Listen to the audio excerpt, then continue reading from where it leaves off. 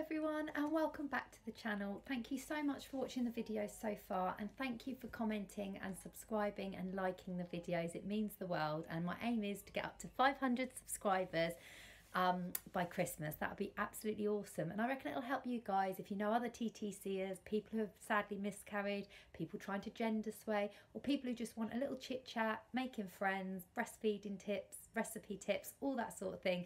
Let them know about my channel and see if they like it.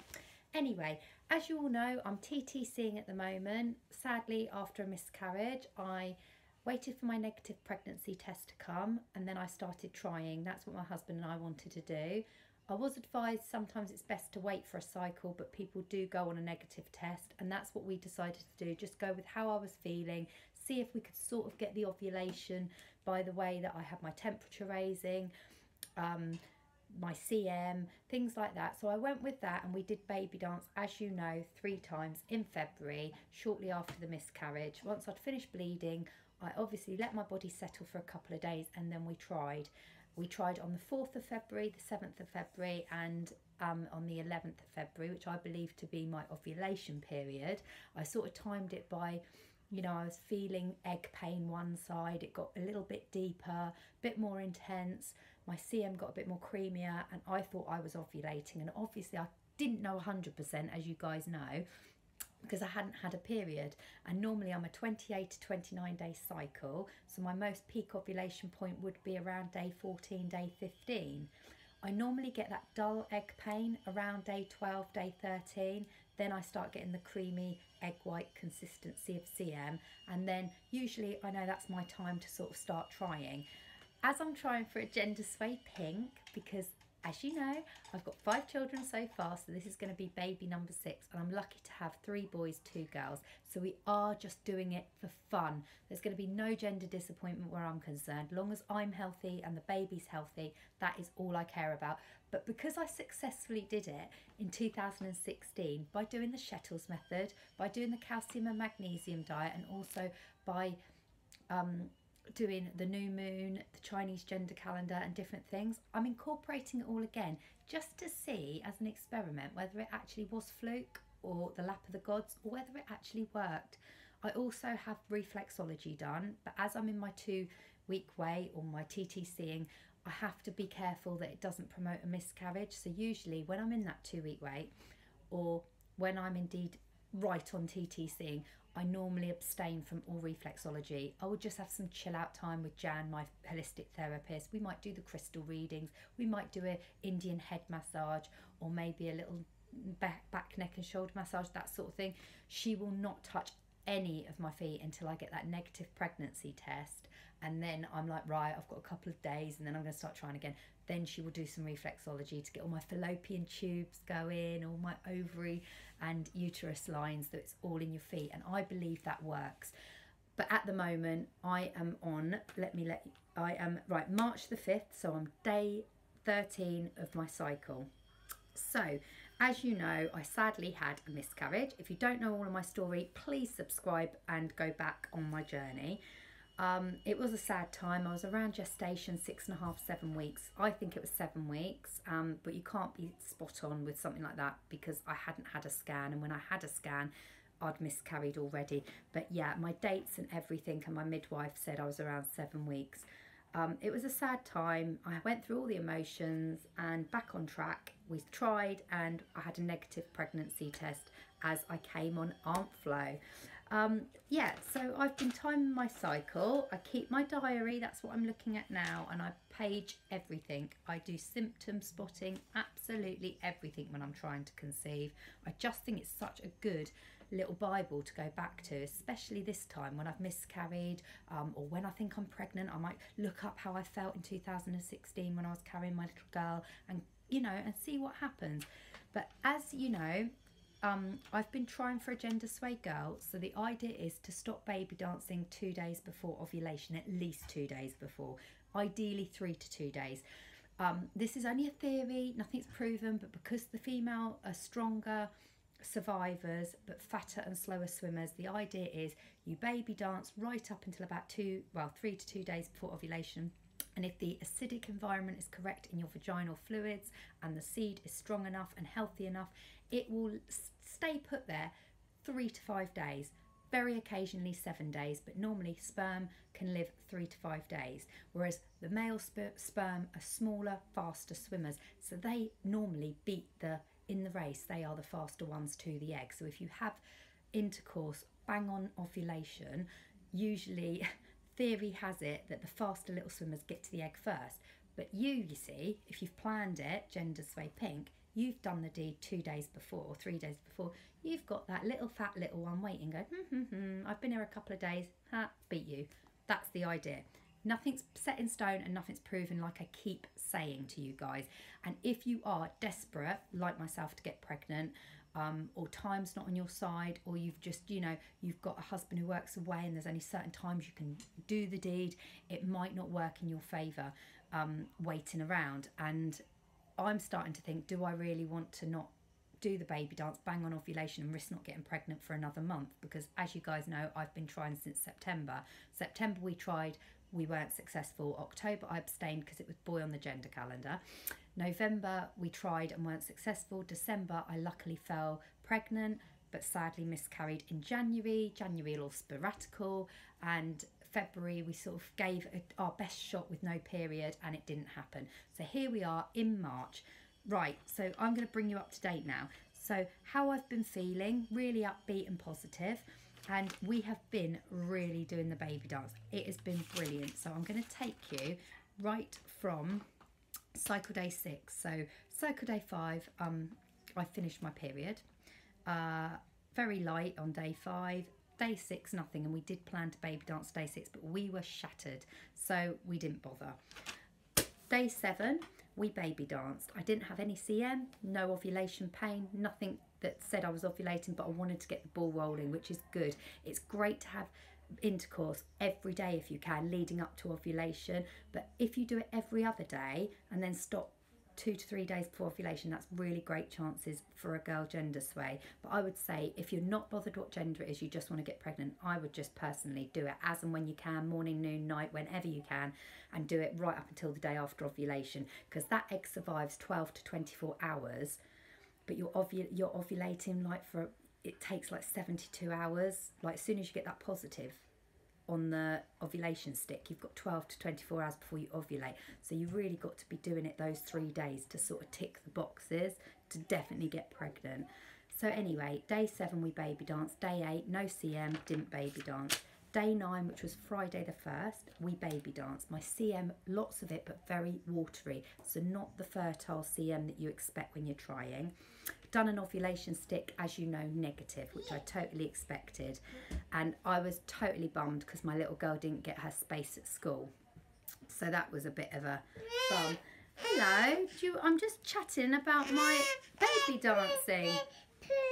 You've done a poo. I'm going to have to change your nappy, so I will carry on in a second. Give me five.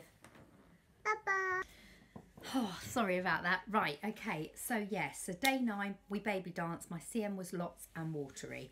Ovulation stick negative. Day 10 was um, very watery CM.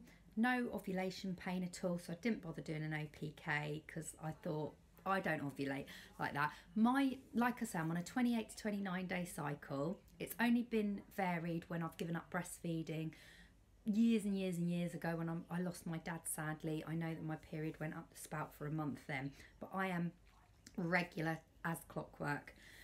And also I have the reflexology to sort of keep that all balanced and I have a healthy diet and everything. So I am going with a 28 to 29 day cycle covering my back by saying normally day 14 day 15 is my most peak ovulation don't usually do OPK sticks, but I have done not just for the video, but just to sort of track it after the miscarriage and because I am gender swaying pink. So it's a good idea to know when it's peaking. Sorry, I'm a bit out of breath. Right, okay, so day 11, my CM was still watery on Sunday, but I did do an OPK and I don't know whether you can see, very, very light line. And I did say on my video I would expect a light line probably day 11, day 12, and it progressively getting darker. I'm expecting a darkish line day 13, but day 14, 15, I want it to be the same control colour, the same colour as the control line.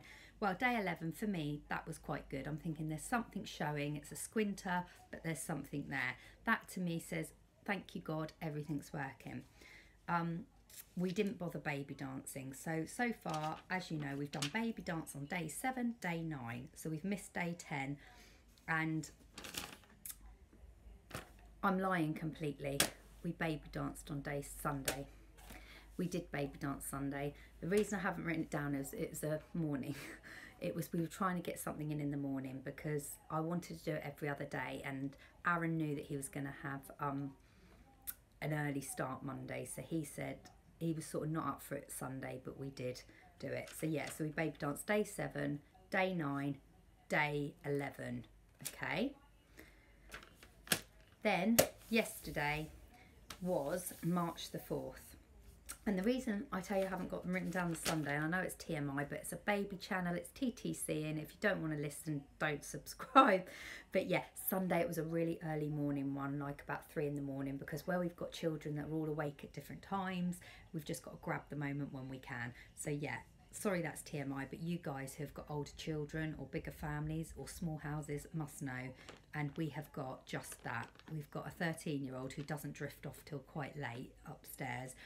And yeah, a little girl who tends to get up quite a bit in the night. So yeah, so we've definitely ticked the boxes so far. Yesterday was Monday, the 4th of March, my husband's birthday. He had the day off, so it was a really nice day. Although it was a bit stressful in the morning because the children were upset because they wanted to be off with him and God knows what.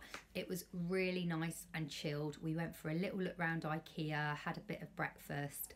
Um, had a really nice day and we don't often get that because at the weekends although we're all together it's very hectic because we do sport and football our saturday is predominantly taken up with training until about midday then by that time we have lunch, maybe have a family walk, and that's about all we get in on a Saturday. So it's really nice to be able to just have me and Aaron having a chat. And we obviously took the baby, but with a two year old, Uh, just a two year old, it's so much easier than having all of them. Yes, she wants everything in sight. Like, can I have that cuddly teddy bear? No. Can I have? I just literally packed some raisins, a banana, some mini cheddars, some water.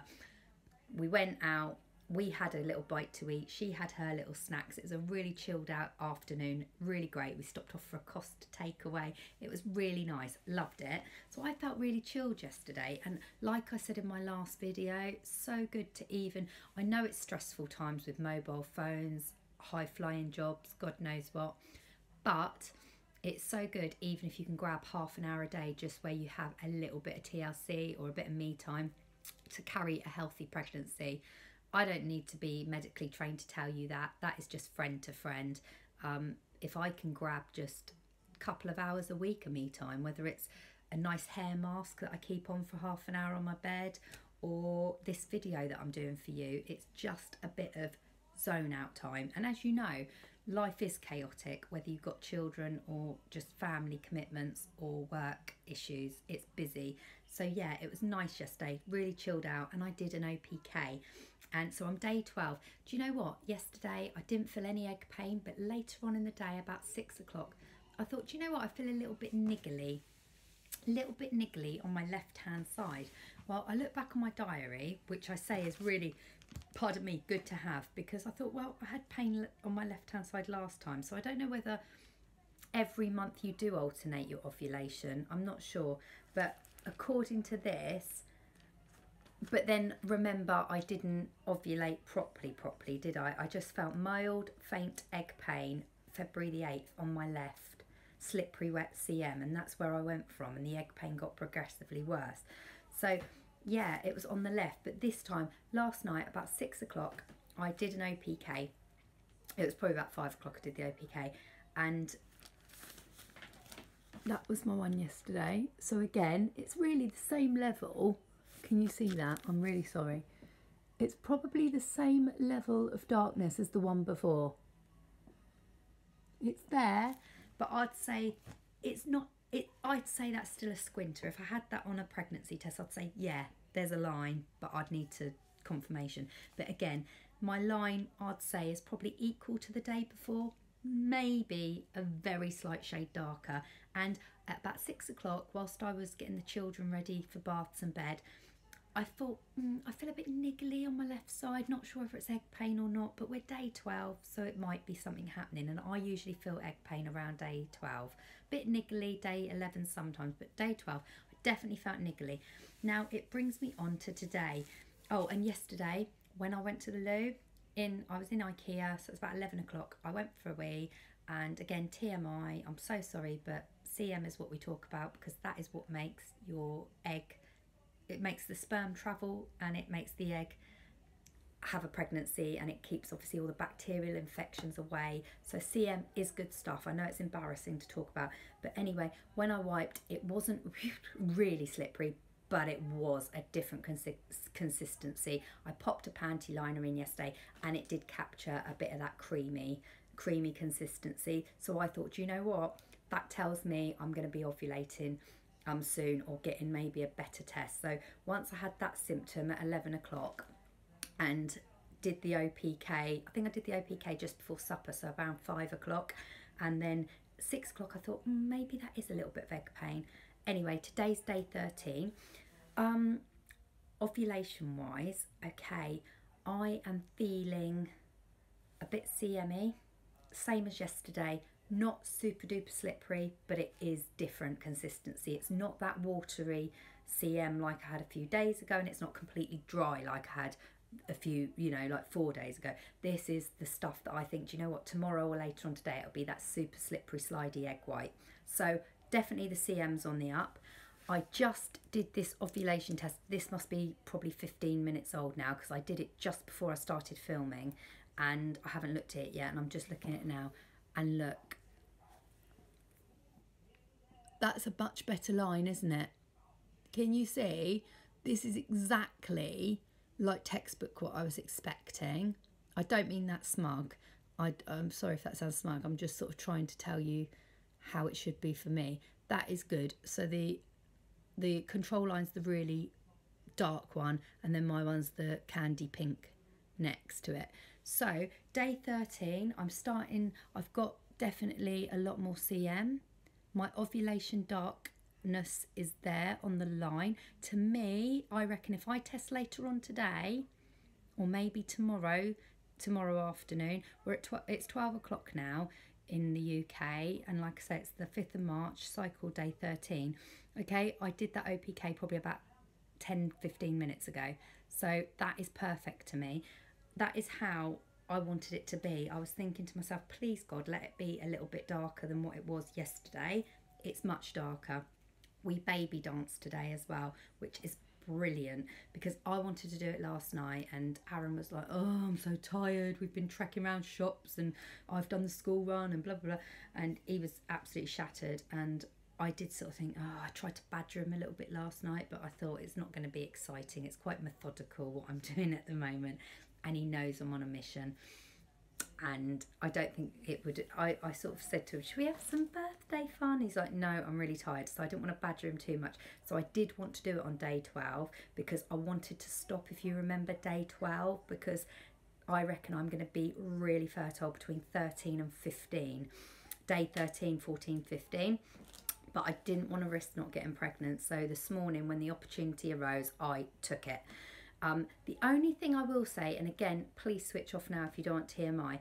The only thing that worries me is obviously with the Shettles, it's shallow, no O, very methodical, sort of take your mind off it, think of England.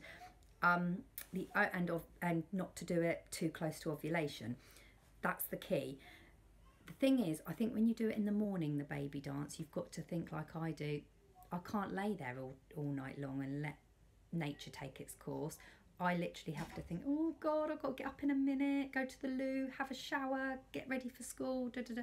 Got so much to do in the morning. Whereas at night, you can afford, and I know this is so cringy and TMI, but they do say having the baby dance at night's a little bit better because you can pop a panty liner in, pop a pair of knickers on, and you can sort of sort of not get up for quite some time, maybe all night long if you're lucky. So, you know, if you haven't got children to get up to or you don't need a pee, it's quite good chances that things are taking.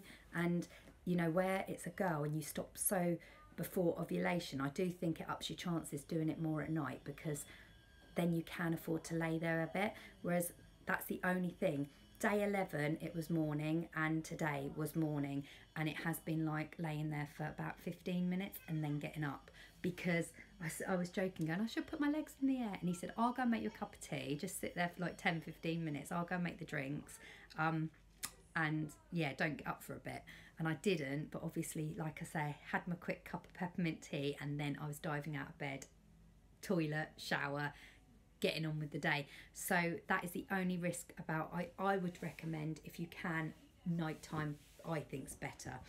Anyway, whether that's me just being myth you know, whatever, I would say in an ideal world nighttime's better when you can sort of cuddle up, go to sleep and fall asleep for a good four or five hours and not have to bother addressing down below. But anyway, we have ticked the boxes. I'm dead happy. So as you know, just going back on it, just to recap, we've baby danced day seven, day nine, day 11 and day 13. So every other day and now I would say by tomorrow I am going to be ovulating. So I am praying to God that there will be a little swimmer in me now, whether it was from two days ago or today, I am praying that I have ones that last three days to five days in me and I don't care if it's a boy or a girl but chances are the girls are stronger survivors. The boys tend to last more than 24 hours whereas the girls are more 72 hours. That is the theory but if your vaginal fluids fluids are more alkaline that means if you've had a more sodium potassium sort of diet um, if you've baby danced and it's been deeper maybe a different position, maybe you did have a really fun time, the big O. You know, it might be that your vaginal environment's more alkaline. They favour boy swimmers. So, you know, it might be anyway, that's the science behind it. So I am just hoping that I've eaten the right things and everything's all set. But as I say, I don't care what I get. I just pray to God that I'm pregnant this month. And the tarot cards saw it and I have got such a good feeling. And I asked my crystal. I've uh, I've used the crystal twice since the last video. Um, asked it questions, and it definitely does say I will fall this cycle. But I have looked back on how you read the pendulum that I have, and you have to not be too emotionally charged with the questions. So I have had to sort of breathe in, breathe out, stay calm, and ask real direct questions and yeah it does see a pregnancy so I'm holding on to everything. So that's my little update guys. Um, no news other than that but everything's ticking by. CM's good everything's good. And obviously the OPK you can see there really getting there. I reckon by later on today or tomorrow that will be dark and I will take a picture of it tomorrow. I will be on day 14 tomorrow of my cycle which I believe will be peak ovulation for me as I'm a 28 to 29 day cycle. New moon is tomorrow, so all you people should be feeling a bit more upbeat anyway, whether you're TTCing or going through a bad time or just hectic. New moon tomorrow, which means really nice irons in the air, positivity around, and my gender calendar for girl is Thursday the 7th. So, yeah, if theory's right, maybe that little swimmer will sit and wait there nicely till Wednesday, Thursday and get fertilised. That's what I'm hoping. So happy, um, happy Tuesday to you all. I will do an update and thank you all for watching. Please like, thumbs up this video and please subscribe if you haven't already and baby dust to you all. Thank you. Bye. Hi guys, I just thought I'd really quickly tag on um, this little bit just to say um, I've done an OPK and it's getting darker and darker. It's now six o'clock in the evening from the same day, the 5th. But I just thought I'd tell you my egg pain started and it's the right hand side and it's quite painful now. It's been like getting worse by the hourly. I shouldn't be this happy about pain, but I just thought I'd give you an update. So this is getting progressively darker and the pain is on the right hand side so all's good for ovulation. I think come tomorrow morning I will be properly there so I'm not going to risk baby dancing anymore. Thank you for watching again and please subscribe. Bye